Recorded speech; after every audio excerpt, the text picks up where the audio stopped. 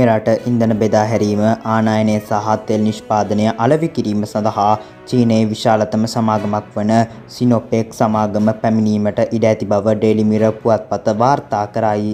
මෙරට ඉන්ධන වෙළඳපොළට ඇතුළු වීමට ඉන්ධන නිපදවන රටවලට තවත් සමාගම්වලට ඇතුළු වීමට අවසර දීම සඳහා කැබිනට් මණ්ඩලය විසින් යෝජනාවක් අනුමත කර තිබේ.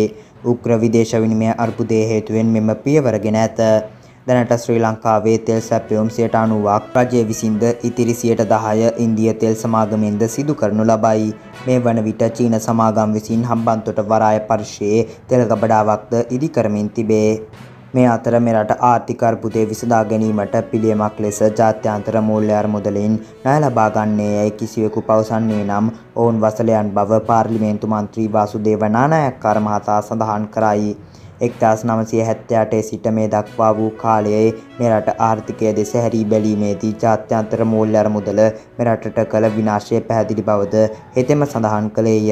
එම අරමුදල ණය ලබා දීම සඳහා තවදුරටත් මෙරටට කොන්දේසි දැමීම තුළින් මෙරට විනාශය තවදුරටත් පළල් වී ඉදිරියට යන බව ඒ මහතා සඳහන් කළේය. එනිසා එම අරමුදලෙන් ණය ලබා ගැනීම සඳහා තම පක්ෂය කිසිදු සහායක් ලබා නොදෙන බවද මන්ත්‍රීවරයා කියා සිටියේය. මේ අතර රට තුළ ආර්ථික අර්බුදකාරී වාතාවරණයක් ඇති වී තිබෙන මේ මොහොතේ ජනතා මුදල් මැති ඇමතිවරුන්ගේ සුබ විවරණය සඳහා යොදා ගැනීම වහා නැවැත්විය යුතු බව ශ්‍රී ලංකා පොදු ජන පෙරමුණේ සභාපති පාර්ලිමේන්තු මන්ත්‍රී මහාචාර්ය ජී.එල්. පීරිස් මහතා සඳහන් කරයි.